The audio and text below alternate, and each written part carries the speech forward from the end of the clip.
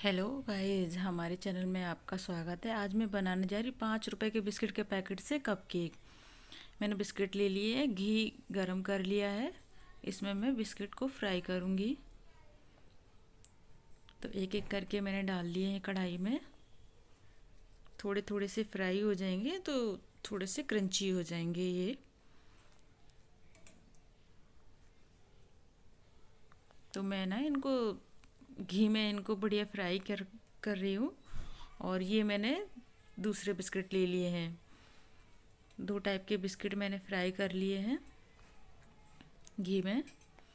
थोड़े थोड़े क्रंची हो जाएँगे तो अच्छी टेस्ट भी अच्छा आएगा और ये मैंने फ्राई कर लिए हैं। क्रंची हो गए थोड़े थोड़े से। अब मैं इनको एक जार लूँगी मिक्सी का। उसमें डाल के इनको मिक्स कर दूँगी। पेस्ट बना लूँगी। ये मैंने मिल्क पाउडर लिया है थोड़ा सा सोडा लिया है, और वनीला एसेंस।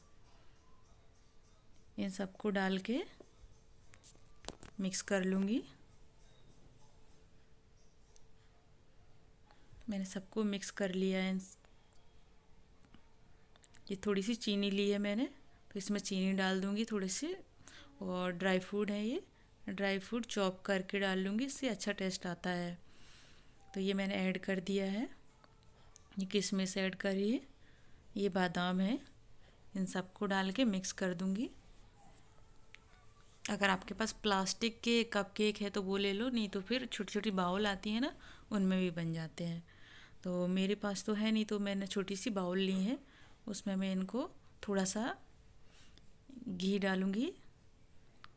और फिर इनको ट्रांसफ़र करूँगी बाउल में।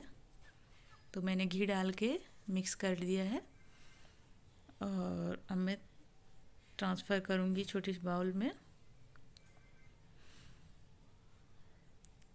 तो थोड़ा थोड़ा सा डालेंगे तो स्पंजी हो जाएँगी। ज़्यादा डाल देंगे ना तो अच्छे से पकेगी नहीं, बनेगी नहीं अच्छी। तो मैं ना थोड़ा थोड़ा सा डाल रही हूँ। ये मैंने गार्निश कर दिया है बादाम, काजू किशमिश से। गार्निश कर रही, कर दिया मैंने। और ये कढ़ाई ले ली है और ये जाली ले ली है। इसके ऊपर रख दिए मैंने और अच्छे से कवर कर दूँगी। अब हमारे बन चुके हैं कप केक आप भी ट्राई करके देखिए।